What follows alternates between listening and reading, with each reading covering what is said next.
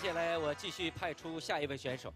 我请这个选手的理由很简单，年纪很轻，才二十五岁，但是他的人生经历很丰富。我简单的给大家介绍一下他的简历。二十五岁的他，曾经在鞋厂、眼镜厂、服装厂、电子厂、车床厂做过工人，曾经在公园打过球、卖过票、卖过饮料，曾经在餐饮行业做过服务员、后厨，学过西餐，做过披萨、牛排、甜品。不好的时候还在工地搬过砖，做的好时候当过店长的助理。除此之外，还送过快递、送过外卖。说不下去了，不是，不是，不是二十五岁吧？二十五岁，二百五十岁吧？二十五岁的他究竟发生了什么？他做了这么多的事情，咱们掌声有请这位选手，有请侯星。哇，很酷啊，很有个性啊！哇哦，自我介绍一下。大家好，我叫侯鑫，今年二十五岁，我来自四川巴中。我第一个问题就是，刚才我念的这些工作你都做过，对不对？对的，我有没有骗嘉宾哥？有没有骗观众？没有，这些全部都是我的经历。这个我简单给大家解释一下，为什么这个侯星二十五岁，就算他工作再早，怎么可能做了那么多工作呢？最重要的原因，侯星曾经是一名网瘾少年，上网有瘾的那种。对，非常喜欢年轻人打游戏。那怎么会影响到工作呢？那干一段之后就不想工作了，就还想玩儿。因为全部的心思、精力，包括自己的金钱，都拿去玩游戏去了。然后在那个时候，我觉得只有游戏，我在游戏里面能找到我自己。嗯，大多数有网瘾的人是这样的感觉，他只有在虚拟世界才能找到自己。对，在现实中那个时候，当我做到做到这份工作，哎，我做到一半的时候，我觉得我差不多了，我不能不能再提升了。其实还可以提升，但是我已经没有那个想法去提升，然后就想着去换另外一个工作，所以导致上一份工作的老板包括同事都很看不起我，因为换了接近接近我自己都数不清有多少份工作。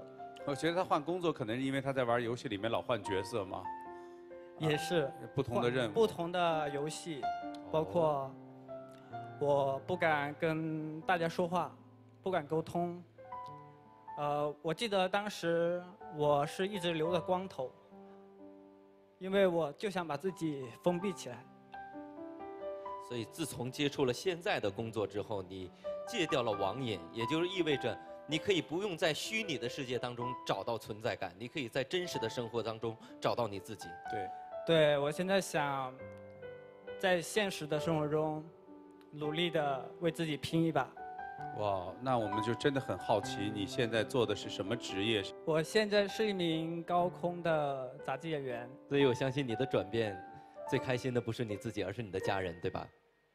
呃，我觉得如果说他们看在看到我今天在电视上，能够能够在这里这么自信，对呃，跟大家分享我的故事，我相信他们一定会为我骄傲的，我会努力的。所以还是回到现实世界更踏实一些啊！真的，我觉得二十五岁一切都来得及，也希望今天接下来这一百秒能成为改变你一生的一百秒，好不好？准备好了吗？准备好了，请说出我们的口号。是金子总会发光。请转身。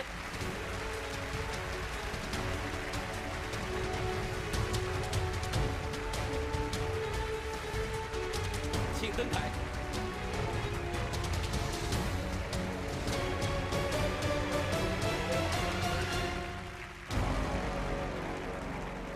黄金一百秒计时开始。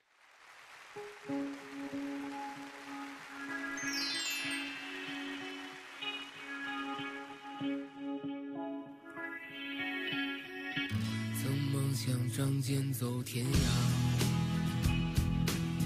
看一看世界的繁华。年少的心总有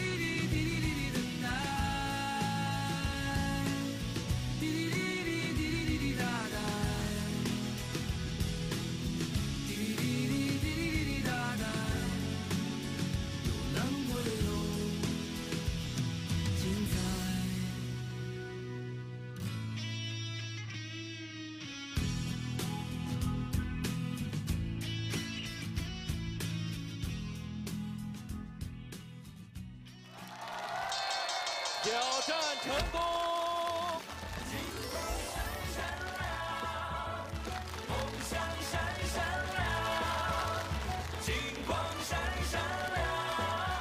三百六十行，行行出状元，最终在杂技的舞台上找到了自己新的光芒。是金子总会发光。高兴啊，玩游戏原来喜欢玩对吧？玩游戏最费钱的是什么？买装备对吧？那是在虚拟世界里面，可是你在真实的世界里面，你不需要任何装备，就靠你自身的能力，你可以征服现场的观众。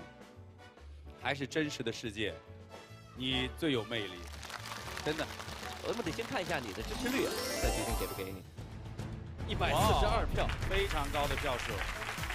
来，这个魔法项链送给你，带着它，你可以飞得更高。没错，继续做你自己，在真实的世界里面，你可以飞得更高。加油，加油！